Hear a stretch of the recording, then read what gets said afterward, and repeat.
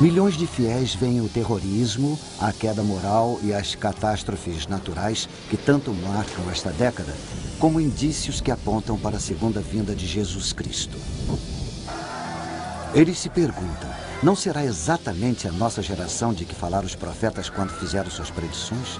Terá chegado o final dos tempos? Milhões acreditam que deverá acontecer uma série de eventos antes que Cristo retorne para este mundo. A Bíblia prevê sete acontecimentos solenes que anunciarão a segunda vinda de Cristo. Eu não sou teólogo, é claro, mas reconheço que um desses eventos já é história contemporânea.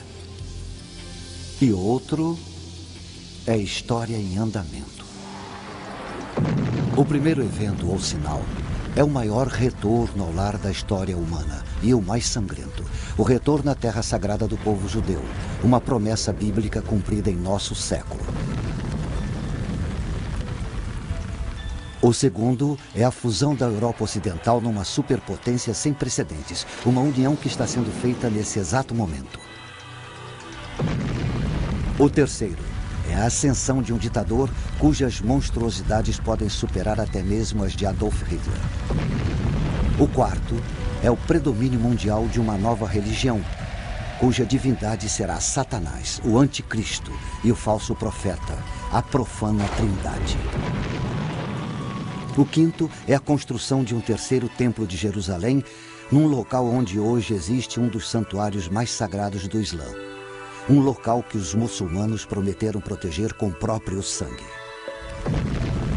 O sexto é a invasão de Israel por exércitos cruéis do norte que não serão derrotados por forças militares, mas pelo catastrófico poder da natureza de uma magnitude jamais vista.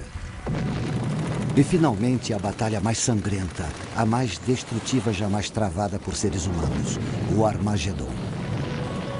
Mensagens espirituais para o próximo milênio. Os Sete Sinais do Retorno de Cristo. Distribuição Mundial Filmes. As pessoas procuram sinais, explicações para o aumento de tragédias nos anos 90. Terremotos repentinos. Vulcões lançando nas alturas jatos de lava incandescente e vapor. Escuridão de dia furacões terríveis e frequentes, assassinatos, terrorismo que nem o governo mais poderoso do mundo parece capaz de evitar, a carnificina da guerra e a ameaça da AIDS. Estará nosso planeta como um peão parando de girar? As pessoas querem respostas. E procuram no estudo das auras, na propriedade dos cristais, no tarô, em mapas e mais mapas astrológicos. Os cristãos afirmam que não é preciso olhar para as estrelas. Eles sustentam que estão vendo sinais claros da volta iminente de Cristo, apesar de admitirem que não sabem exatamente quando isso vai acontecer. Eles não afirmam que conseguem ler a mente divina. Este livro, que está em todas as gavetas da maioria dos hotéis, foi traduzido para praticamente todas as línguas do mundo. Cerca de 25% de tudo que está escrito na Bíblia são profecias. Existem dezenas de profecias falando da vinda de Cristo para o nosso mundo. Mas existem centenas de promessas falando da segunda vinda de Cristo. Algumas profecias descrevem os tempos em que nós vivemos. Nação se voltará contra nação e reino contra reino. Haverá grandes terremotos, fome e pestes, e acontecimentos terríveis e grandes sinais dos céus. Muitas das profecias da Bíblia se cumpriram séculos atrás. Algumas estão se cumprindo hoje, na nossa época. E existem outras, como a fúria de Deus descendo sobre a terra, que esperamos que só aconteçam no futuro distante. Com a chegada do novo milênio, muitos cristãos se perguntam: será que essas profecias vão todas acontecer nos nossos dias? Vamos nos aprofundar o máximo possível nessas profecias. Veremos que, como as sete velas de um menorá, elas nos dão sete sinais para o retorno de Jesus Cristo.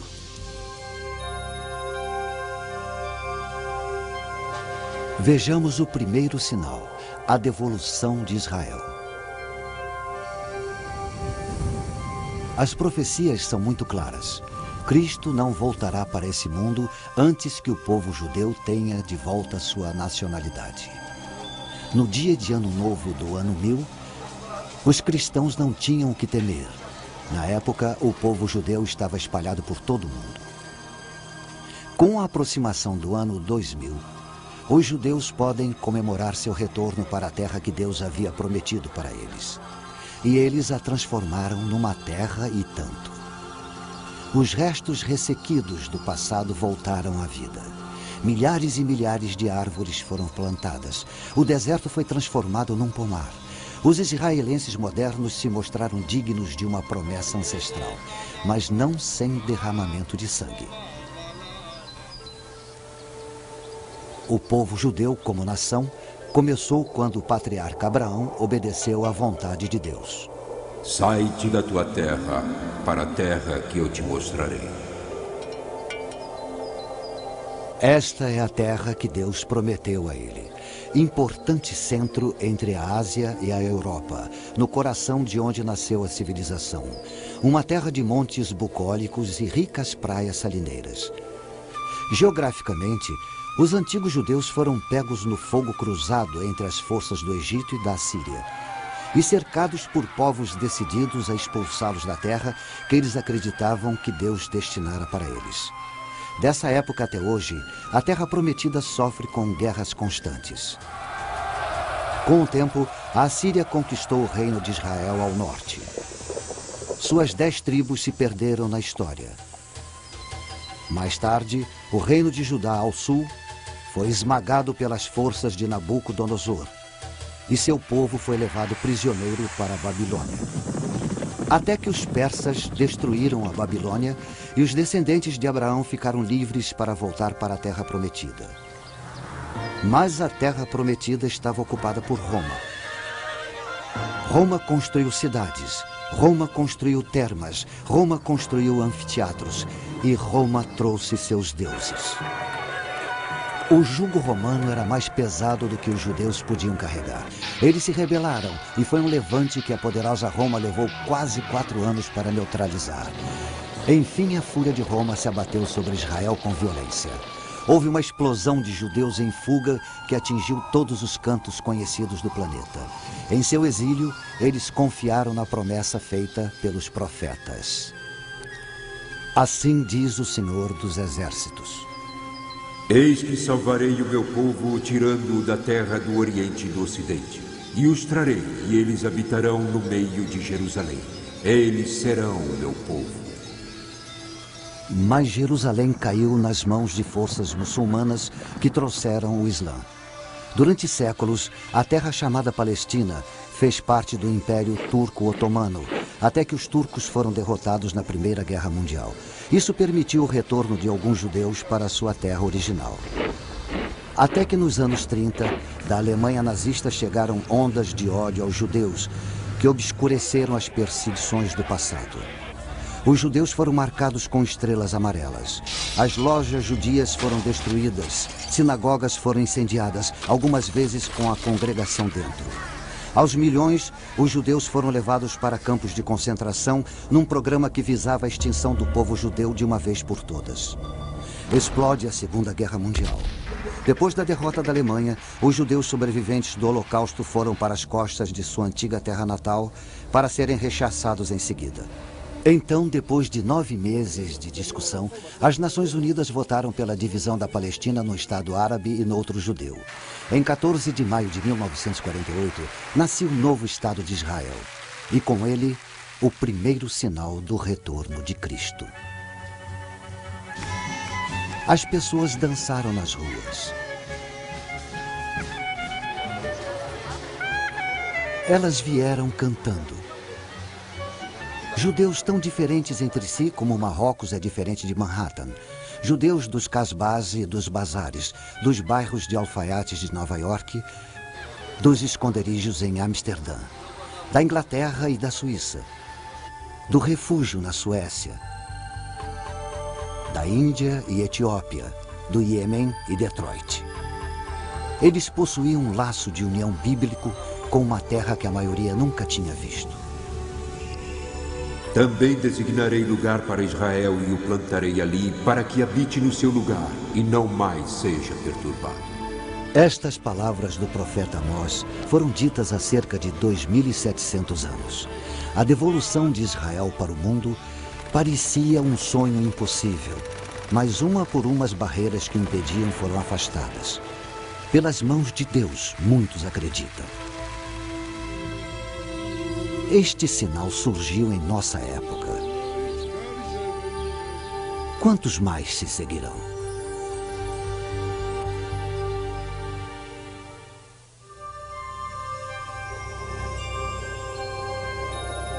O segundo sinal, a Europa unida. Respondeu o rei: Verdadeiramente o vosso Deus é Deus dos deuses, o Senhor dos reis e o revelador dos mistérios.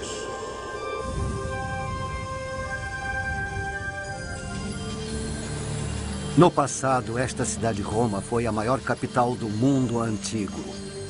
Hoje, Roma ainda é capital. Uma capital de um dos muitos países do oeste europeu que formaram uma confederação denominada UE, ou mais popularmente União Europeia. A União Europeia é dinâmica. Ela alimenta o ideal de uma Europa unida, integrando os países membros econômica e politicamente. Ela prevê políticas comuns no comércio, na agricultura. Isso exige um sistema monetário europeu único para todos os países membros. Ela mantém um parlamento multinacional. Se a União Europeia decidir formar um exército comum europeu, ela emergirá como o Império Romano do século XXI. Incrivelmente, toda a operação da União Europeia foi prevista há cerca de 1.600 anos. Isso aconteceu na Babilônia, a lendária Babilônia dos Jardins Suspensos. O rei Nabucodonosor teve um terrível pesadelo e mandou chamar um visionário judeu chamado Daniel para que o acalmasse. Daniel disse para ele: Ó oh, rei, subiram os teus pensamentos sobre o que viria no futuro. Ele continuou falando de uma enorme estátua de quatro metais de vários graus de dureza, referentes a grandes impérios do mundo antigo. A cabeça de ouro é a Babilônia. O peito e os braços de prata, o Império Persa e o ventre e as coxas de bronze eram os conquistadores gregos. O triunfo de Roma sobre os outros é representado pelas pernas de ferro da estátua. Muito interessantes são os pés de ferro e barro. Os dez dedos simbolizando dez nações que cederão sua soberania a Roma. Daniel também teve uma visão do futuro foi tenebrosa. Ele viu quatro terríveis animais saindo de dentro do oceano. O primeiro, o leão alado da Babilônia. O segundo, um urso simbolizando o Império Persa. O terceiro, um leopardo simbolizando Alexandre o Grande e seu império. O quarto animal, o mais terrível de todos, Roma, que devoraria os outros três. Ele tinha grandes dentes de ferro ele devorava e fazia em pedaços suas vítimas e tinha dez chifres. O profeta continua e diz que só depois que este superpoder de Roma for destruído, Cristo voltará para a terra e estabelecerá um domínio eterno que não passará. Mas a ideia de uma Roma imperial nunca morreu. Os fantasmas dos Césares continuaram assombrando as lideranças europeias. O Sacro Império Romano atingiu seu ápice durante a Renascença, com Carlos V. Napoleão desejou tanto o poder do Império Romano que se autoproclamou imperador. Roma chegou viva ao século XX com Tsar Nicolau e o Kaiser Wilhelm. Os títulos Tsar e Kaiser vêm de César. Benito Mussolini considerou-se durante os 21 anos de ditadura na Itália um César. Com grande entusiasmo, as pessoas o saudavam como Il Duce, Duce, que significa nosso líder, nosso líder. Ele devolveu o antigo nome romano para o Mediterrâneo, Mare Nostrum, nosso mar. O símbolo de seu governo de ferro foram os fasces, um feixe de varas exibido na Roma antiga como símbolo da autoridade. Enquanto governou, ele foi uma prova solene de que, mesmo no século XX, o espectro da Roma imperial nunca chegou a morrer. Hoje, as bandeiras da União Europeia flamulam por cima de muitos dos antigos territórios imperiais. Os Estados Unidos da Europa. Este era o sonho pós-guerra de Winston Churchill e de Konrad Adenauer, o primeiro chanceler alemão depois da rendição nazista. Para esse fim, em 1958, os líderes europeus se reuniram no Monte Capitolino e fundaram o Mercado Comum Europeu, que se desenvolveu até tornar-se a União Europeia que conhecemos hoje. Se a União Europeia for de fato a coalizão de dez países prevista pelo profeta Daniel, ela irá se tornar uma superpotência política. Industrialmente, ela será uma das potências mais produtivas da Terra. Ela vai sustentar um gigantesco exército multinacional com as armas mais avançadas. E diz o profeta: vai impor um único credo, um jugo religioso a todos dentro de sua esfera. Quem será o senhor dessa superpotência política, esse gigante econômico, esse colosso militar?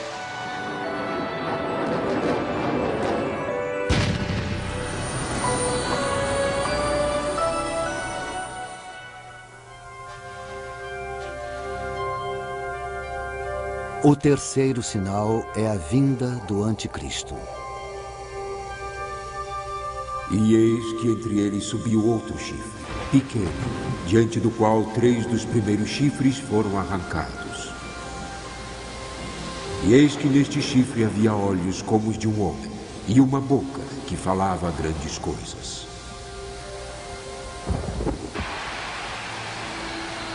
O profeta Daniel previu a ascensão de um ditador de uma confederação de dez países com quartel-general em Roma. Ele vai se posicionar contra Cristo nos últimos dias antes da segunda vinda.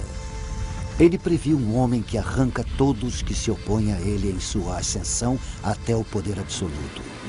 Seus olhos, os olhos de um homem, demonstram aguda inteligência. E sua boca, que fala grandes coisas, prediz um orador de grande autoridade. Um orador carismático que hipnotiza a massa de seguidores. Para ele, as pessoas entregam tudo: sua vontade, sua lealdade, seu amor, sua liberdade, sua própria alma. Estão convencidas de que ele é o Salvador. No mundo de guerras sangrentas, ele acena com a paz. Num mundo tomado pelo terrorismo, ele estabelece a ordem. Ele estabiliza economias abaladas.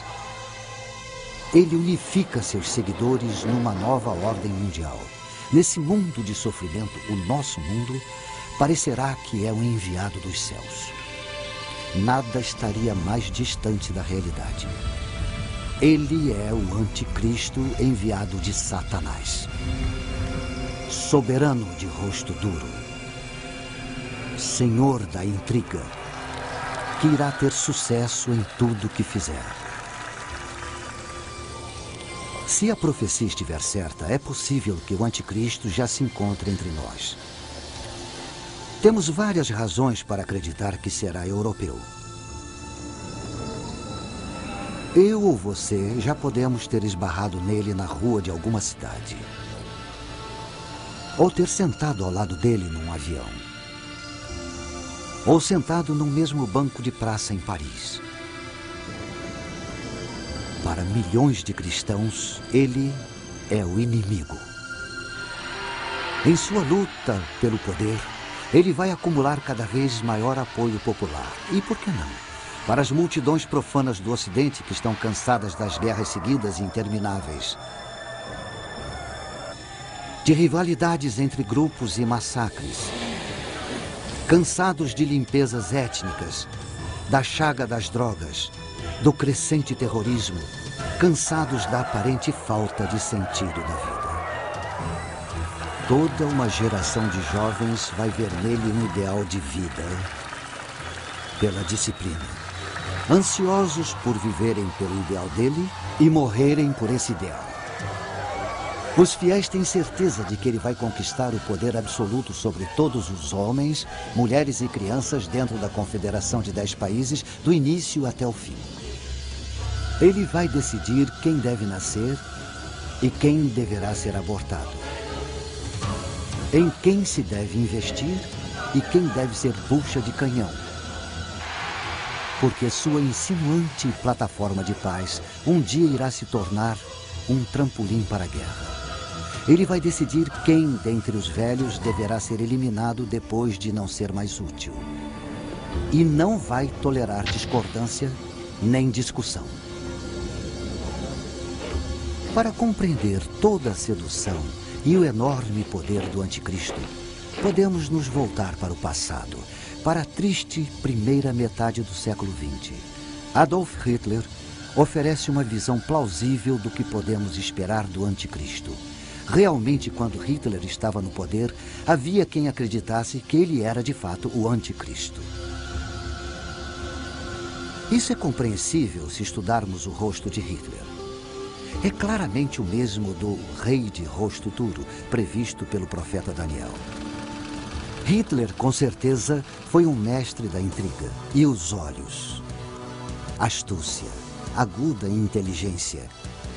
E quanto ao que Daniel disse sobre um ditador com uma boca que dirá grandes coisas, Hitler foi um enfeitiçador. Mediante uma série de comícios públicos planejados e sua própria oratória hipnótica, Hitler se tornou o líder supremo da Alemanha. Ele dizia que só queria devolver à Alemanha seu lugar correto entre as nações do mundo pacificamente. Um arauto da paz. Os cristãos acreditam que é assim que o anticristo vai se apresentar em sua subida ao poder. Se anexasse a Europa a seu terceiro Reich, Hitler seria o senhor de praticamente todas as colônias europeias mais importantes do Império Romano. Era apenas uma questão de mudar sua capital de Berlim para a própria Roma. Mas Britânia, a Grã-Bretanha, recusou-se e o rechaçou. Quando a Segunda Guerra Mundial se voltou contra ele, pareceu menos provável que Hitler pudesse ser o anticristo da profecia.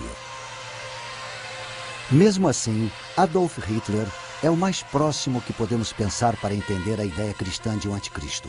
Como Hitler, ele irá hipnotizar as massas para depois escravizá-las. O Reich de mil anos de Hitler durou menos de 12 anos. Durante esse tempo, entretanto, o domínio que Hitler exerceu sobre os povos e países foi assombroso. Mesmo assim, pelos padrões de hoje, as ferramentas de que ele dispunha para exercer seu controle eram primitivas. Não havia o uso da eletrônica que temos hoje. O ditador profetizado, o anticristo, vai ser um Hitler moderno. Mas diferente de Hitler, todos os espantosos avanços da tecnologia eletrônica estarão à sua disposição. Enormes redes midiáticas e meios eletrônicos de lavagem cerebral estarão a seu serviço. As armas mais destrutivas estarão sob seu comando. E ele vai programar a humanidade para servi-lo.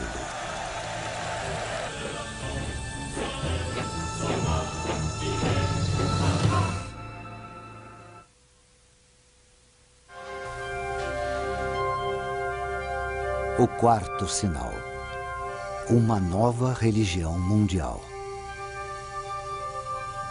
Também vi uma de suas cabeças como se fora ferida de morte, mas a sua ferida mortal foi curada. As últimas décadas desse milênio já assistiram a um sem número de assassinos e quase assassinos de chefes de Estado.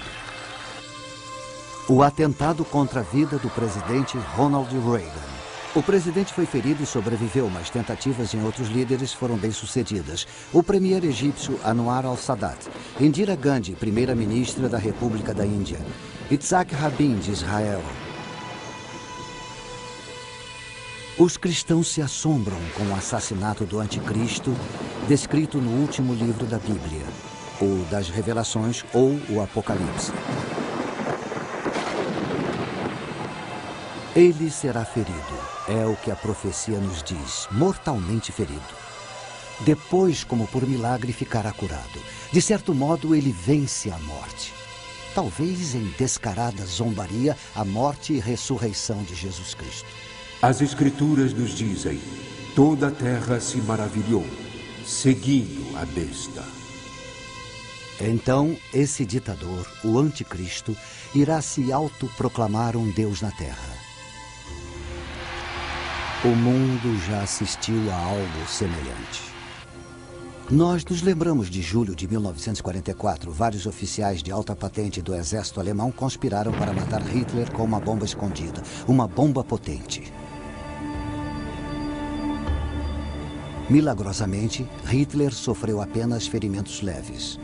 Para seus fiéis seguidores, Hitler não tinha apenas frustrado a traição, ele tinha desafiado sobrenaturalmente a morte. Mais uma vez analisamos o ditador demoníaco para entender melhor o anticristo que virá. Enquanto o mundo estava sob seu controle, Hitler trabalhou para tirar Deus de seu trono. Heil Hitler substituiu Vá com Deus nas saudações. Nós vivemos por Hitler. Nós morremos por Hitler. Nosso Hitler, nosso Senhor que impera no admirável mundo novo.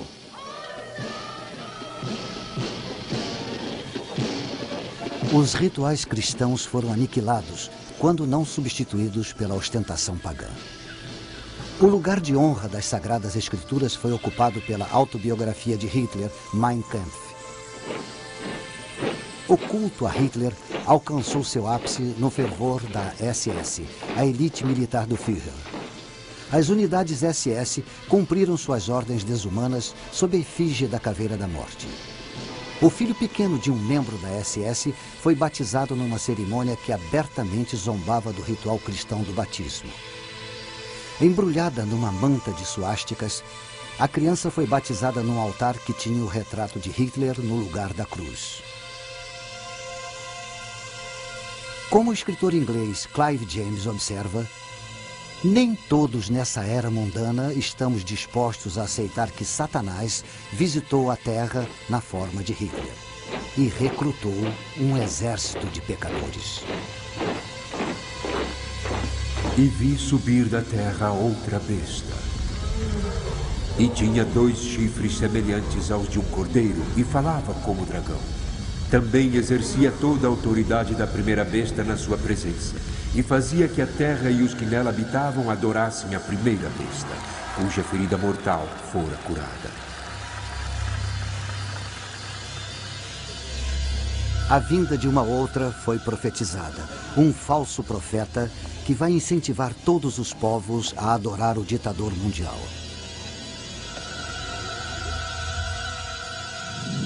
A Bíblia nos diz que ele vai fazer o fogo descer do céu.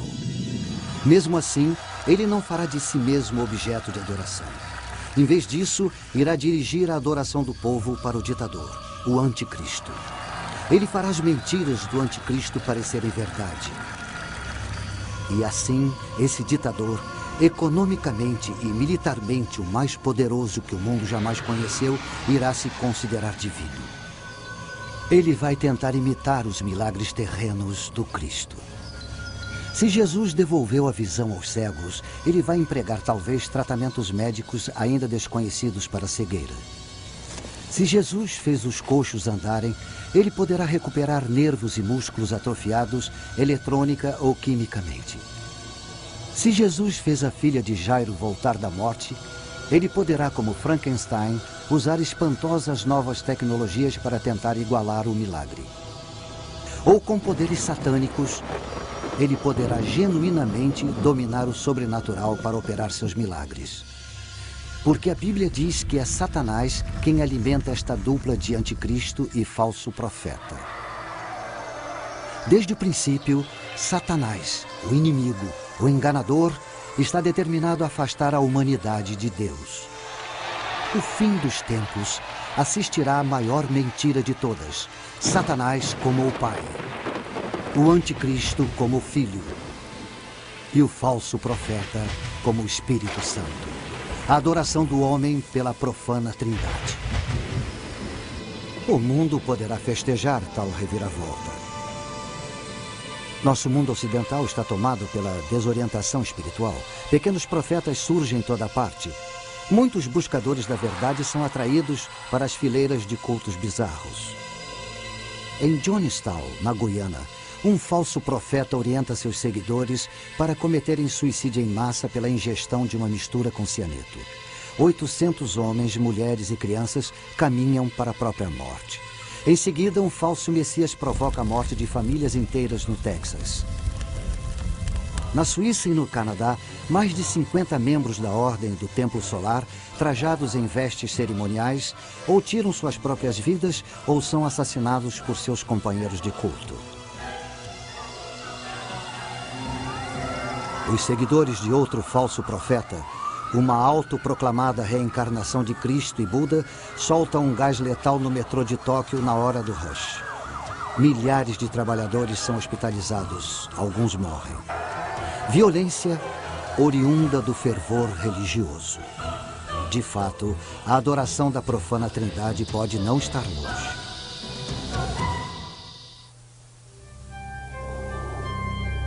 O quinto sinal a reconstrução do templo.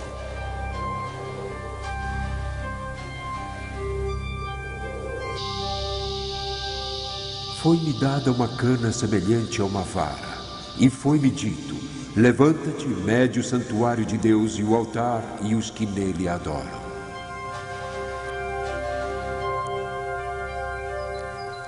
Jerusalém dourada, a cidade de Deus seu solo pisado pelos pés dos conquistadores, assírios e babilônios, gregos e romanos, sarracenos e otomanos. Suas portas, os sagrados portais dos peregrinos, judeus, cristãos, muçulmanos. Seu nome significa paz. Sua história, conflito. Mesmo assim, ela é a cidade onde quase todo ser humano sente o desejo de estar.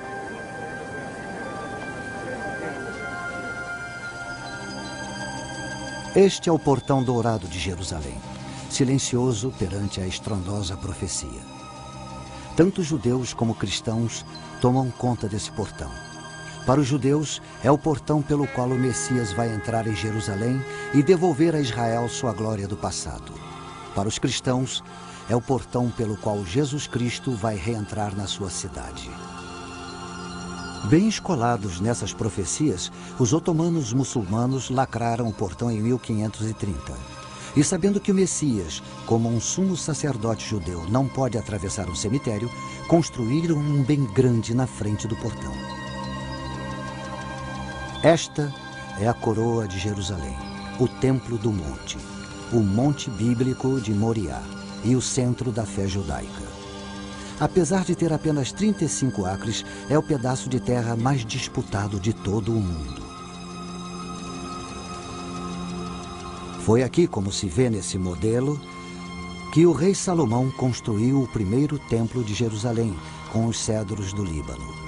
Mas ele foi destruído em 586 a.C. por invasores babilônicos. Por volta de 26 a.C., o rei Herodes o Grande completou a construção do segundo templo. Foi seu maior feito.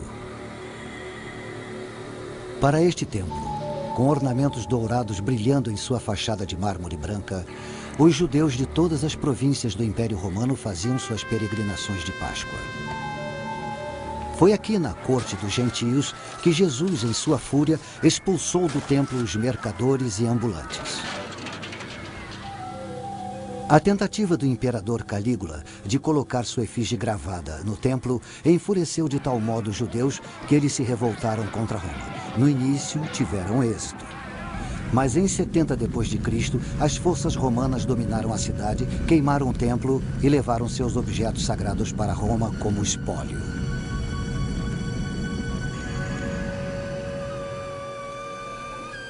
Tudo o que resta hoje dos templos de Jerusalém é uma parede de sustentação feita de pedras enormes de 15 metros de altura chamada Ha-Kotel, ou Muro das Lamentações.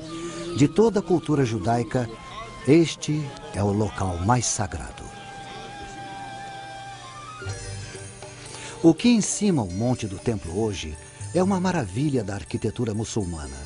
O Kubet es Sakra, ou Domo de Pedra, é tão sagrado para os seguidores de Maomé quanto o templo era para os filhos de Israel. Ele abriga uma rocha sobre a qual, segundo se diz, o patriarca Abraão preparou o sacrifício de seu filho Isaac. É também a rocha da qual, segundo os muçulmanos, o profeta Maomé ascendeu ao paraíso. Cristãos e judeus estão proibidos de orar no domo ou na linda mesquita de Al-Aqsa, que fica próxima. Mesmo assim, o monte é o único local onde os judeus podem construir um novo e o terceiro templo de Jerusalém. E a reconstrução do templo é fundamental para os judeus mais religiosos o Monte do Templo. Tanto judeus como muçulmanos reclamam sua posse. Um antigo representante de Jerusalém chamou esse tipo de conflito de uma bomba relógio de dimensões apocalípticas.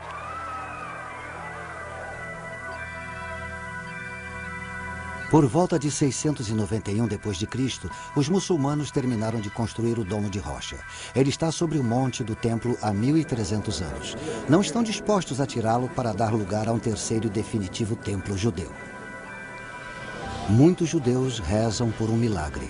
O templo virá do alto, eles dizem. Mas existem fanáticos tramando tomar o templo à força. Um militante do templo, ex-soldado do exército israelense, atraiu milhares de seguidores. Nossa ideia, ele explica, é mudar a mesquita, mudar o domo de rocha para ser reconstruído em Meca. Um grupo conhecido como Instituto do Templo já está se preparando para um novo sacerdócio judeu. Objetos rituais para sacrifício estão sendo feitos. Vestes rituais sendo confeccionadas. À sombra do Muro das Lamentações, há escolas do Talmud, onde estudantes ávidos são preparados para realizar os antigos rituais dos sacerdotes judeus. Um modelo em escala do Terceiro Templo já foi até construído. Mas os muçulmanos não abrem mão do Monte do Templo. Em 1990, irrompeu um tumulto quando um grupo de judeus tentou fincar a pedra angular do novo templo. Cristãos acreditam que Jesus Cristo não vai voltar para esse mundo até que o terceiro templo de Jerusalém esteja pronto. Como isso é possível com esta situação explosiva entre muçulmanos e judeus? E deu-se-lhe autoridade sobre toda a tribo, povo, língua e nação. O ditador dos dez países irá intervir. Chegando como pacificador, ele irá enganar até o eleito. De uma vez por todas, ele irá apaziguar o conflito sobre o monte do templo. Não haverá mais discussão. O templo será reconstruído. E os filhos de Israel irão regozijar-se. Ele fez mais que resolver um conflito, eles dirão. Ele cumpriu o pacto que o Senhor Deus fez com Abraão. Mas o festejado ditador tem outros pactos a cumprir. Ele fará um acordo pelo qual irá devolver a Palestina para os israelitas. Este pacto marca o início de um período de sete anos de tribulação, que só vai terminar com a segunda vinda do Cristo. Ele lhes dizia que fizessem uma imagem à besta que recebera a ferida da espada e vivia. Agora, o falso profeta, fonte oculta do poder, entronizará o ditador anticristo no novo templo de Jerusalém. E os que habitam sobre a terra irão adorar a besta, cujos nomes não estão escritos no livro da vida. A imagem dele será adorada, venerada, cultuada. todos que se recusarem serão mortos. Os israelitas traídos reagirão como seus ancestrais fizeram quando o imperador Calígula tentou pôr sua imagem no templo deles. Vão se revoltar e lutar. E o ditador os fustiga com tal massacre que irá ofuscar o holocausto de Hitler.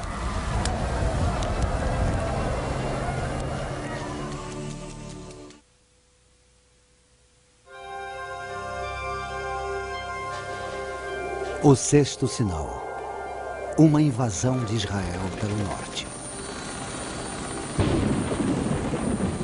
Virás do teu lugar no extremo norte, tu e muitos povos contigo, e subirás contra o meu povo Israel como uma nuvem para cobrir a terra. Com os acontecimentos se precipitando nesta última década do século, o aparentemente indestrutível muro de Berlim ruiu fragorosamente. A poderosa União Soviética se desintegrou. O mundo tremeu com as consequências.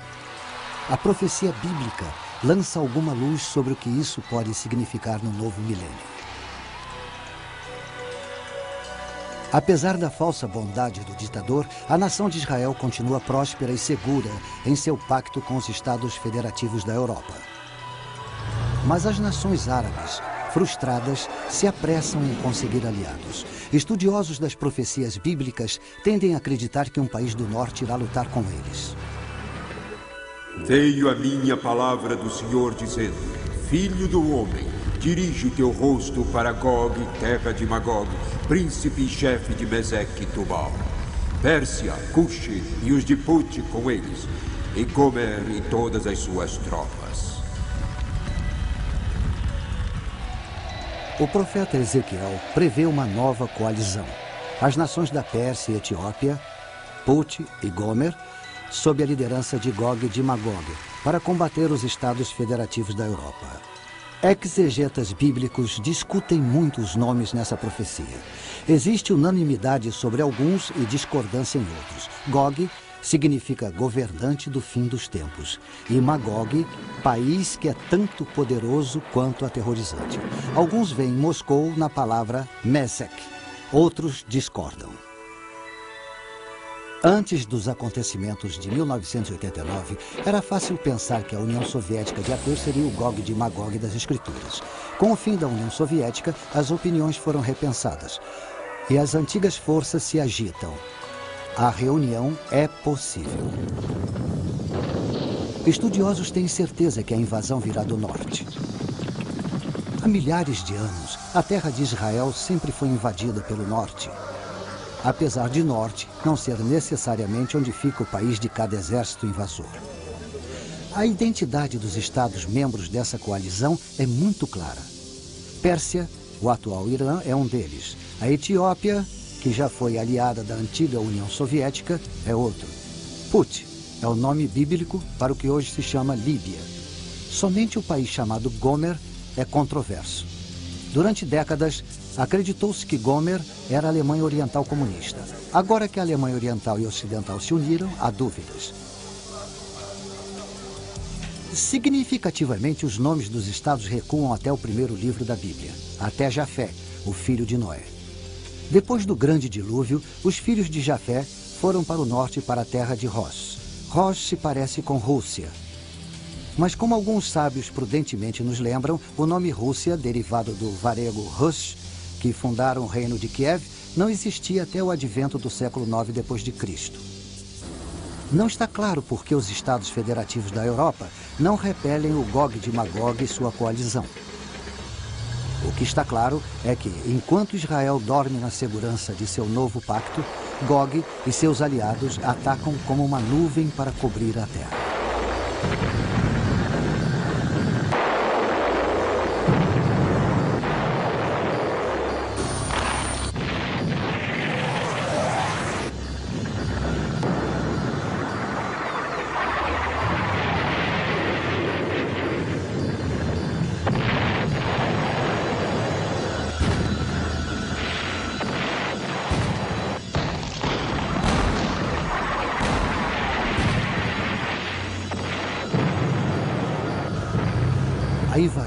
É um sucesso. Mas os invasores estão confiantes demais. Eles imaginam que já têm o controle de Israel antes de vencer. E chamarei contra ele a espada sobre todos os meus montes. Agora o próprio Senhor Deus mostra sua face ao lado de seu escolhido. Os peixes do mar, as aves do céu, os animais do campo, e todos os répteis que se arrastam sobre a terra, e todos os homens sobre a face da terra, tremerão diante da minha face. E os montes serão deitados abaixo, e os precipícios se desfarão, e todos os muros desabarão por terra.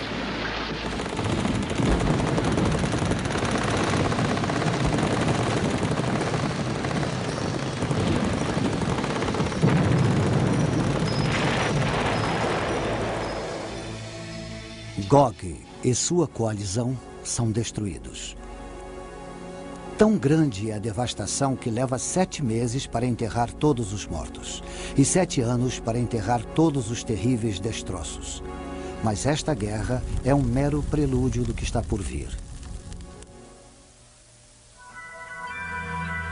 Zacarias, no Antigo Testamento, profetizou que todos os países vão se lançar contra Israel para travar a batalha do Armagedon.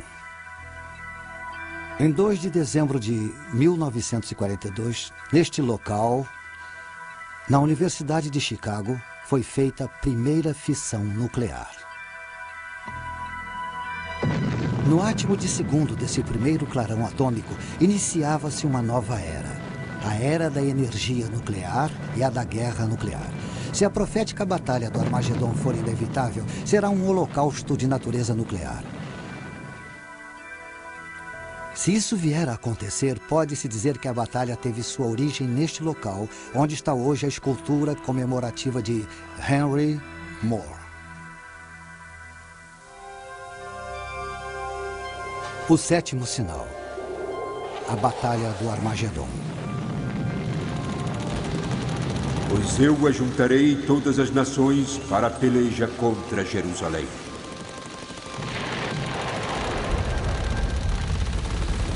Zacarias, do Antigo Testamento, profetizou que todos os países vão lutar contra a terra de Israel para realizar a batalha. Ele previu uma batalha em que uma boa parte da raça humana irá morrer. O nome do lugar onde essa batalha será travada provoca arrepios só de ouvir. Armagedon. Os cristãos acreditam que toda a epopeia dos judeus é uma crônica dos esforços de Satanás para destruir o povo escolhido de Deus e para malograr o plano de Deus para a redenção da humanidade. O tempo é chegado em que esse adversário de Deus fará um grande último esforço para atingir seus objetivos.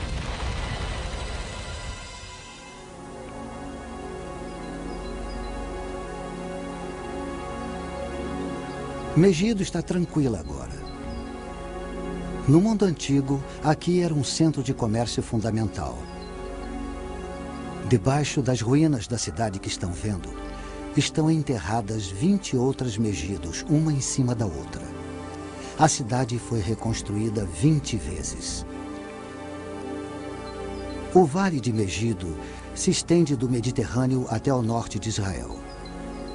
Quando Napoleão veio aqui, sua análise militar foi que, na planície de Megido, a natureza tinha criado seu maior campo de batalha. Nós conhecemos Megido melhor por seu outro nome, Armagedon.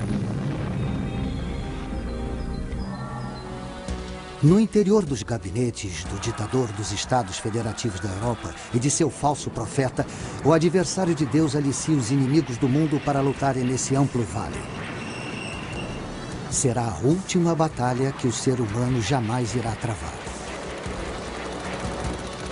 Eles virão de todos os cantos do mundo. Mais exércitos virão descendo do norte. Outros exércitos invadirão pelo sul. Chefiados pelo Deus da guerra, o único Deus que o anticristo irá reconhecer além de si mesmo, os estados federativos da Europa despacharão suas tropas de elite pelo ocidente, tropas com armas superiores. Mas um exército em número incrivelmente superior vem vindo do Oriente, a leste do Eufrates. Como a profecia diz que o exército terá 200 milhões de homens, é de se suspeitar de uma coalizão das nações asiáticas encabeçada pela China. Do norte, sul, leste e oeste eles vêm, e o confronto é aqui.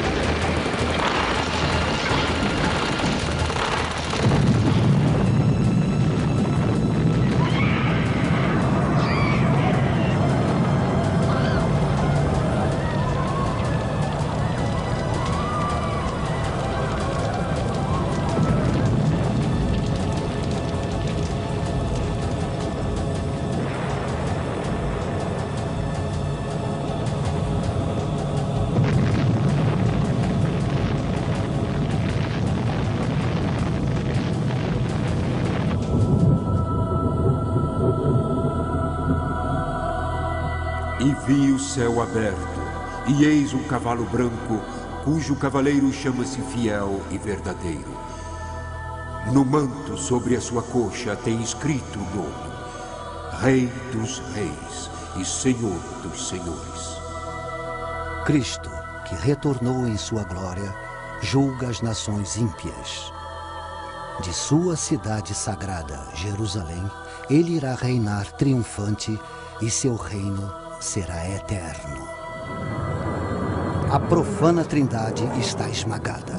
Satanás foi banido para sempre. Os redimidos da humanidade vivem no êxtase do reino soberano de Deus sobre o universo.